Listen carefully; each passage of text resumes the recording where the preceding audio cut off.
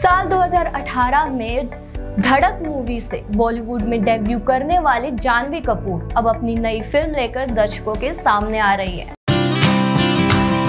Please subscribe to our channel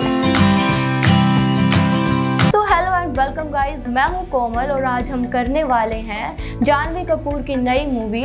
उसका teaser release हुआ है तो बात करेंगे कि लोगों की उससे कितनी उम्मीदें बढ़ गई हैं। तो जंगली पिक्चर्स ने अपने टीज़र के साथ में उसकी अनाउंसमेंट डेट भी रिलीज़ कर दी है, जिसके बाद ऑडियंस काफ़ी ज़्यादा एक्साइटेड है ये मूवी देखने के लिए। आपको इस मूवी में जानवी, गुलशन और रोशन मैथ्यू लीड रोल में नज़र आने वाले हैं और उनका रोल कुछ अलग ही होगा। क्योंकि इस फ़िल्म में बताया जा रहा है जो इनका रोल है, उसके लिए उन्होंने काफ़ी ज़्यादा एक्सपेरिमेंट किया है। फ़िल्म को national award winner director Sudhanshu Saria ने डायरेक्ट किया है और इसके प्रोड्यूसर है विनीत जैन। अगर अब हम बात करें इसके टीज़र की तो टीज़र के स्टार्टिंग में हमें नेशनल एंथम की ट्यूनिंग सुनाई देती है। जिससे भाई ये तो पक्का हो जाता है कि फ़िल्म देशभक्ति से जुड़ी हुई है।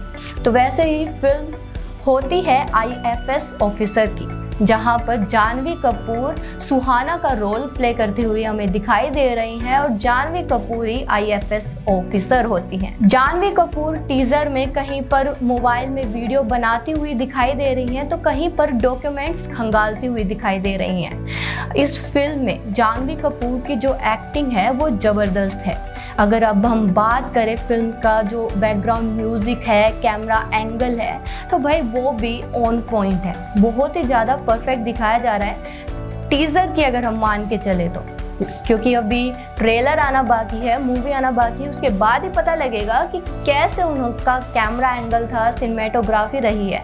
तो उसके बारे में हम ट्रेलर के रिव्यू में बात करेंगे और मूवी के रिव्यू में बात करेंगे। और वापस लौटते हैं इसके टीज़र पे। तो टीज़र देशभक्ति से जुड़ा हुआ है और जानवी कपूर, जो अपनी फ़िल्में लेते आती रहती हैं, उन्होंने अभी तक काफ़ी मूवी में काम किया है, लेकिन उनकी सुपरहिट फ़िल्मों में कुछ ही मूवीज़ शामिल हैं। अब देखना ये होगा क्या जानवी कपूर अपनी इस मूवी को उन सुपरहिट फ़िल्म वाली लिस्ट में शामिल कर पाती हैं या फिर नहीं। और जानवी कपूर ऐसे ही अपनी एक्टिंग के साथ में एक्सपेरिमेंट करती रहती हैं, अपनी एक्टिंग को और निखारती रहती हैं, जिससे कि डायरेक्टर्स उनसे बहुत ज़्यादा इम्प्रेस हो रहे हैं। जानवी कपूर अवार्ड फ़ंक्शन से सोशल मीडिया से लोगों के ऑडियंस के ग्लैम लाइंस में बनी रहती हैं, उनकी चहीती बनी रहती हैं, लेकिन अब उनकी एक्टिंग कितना कमाल कर पाती है इस फ़िल्म में देखना वो होगा।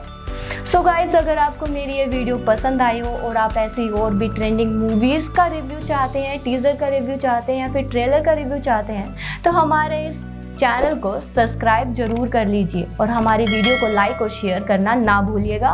और कमेंट सेक्शन में प्लीज़ कमेंट करके हमें बताइएगा कि आपको जानवी कपूर के इस कम से कितनी उम्मीदें हैं।